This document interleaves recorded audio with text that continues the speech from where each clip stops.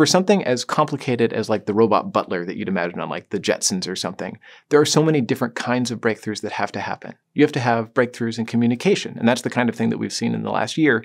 AI systems are better at responding to commands that people give and even giving intelligent responses. Additionally, we need breakthroughs in mechanical engineering so that we know exactly how to position something's arm and make sure we can do it with a small enough amount of force we couldn't possibly hurt someone, but enough force that we can get the job done.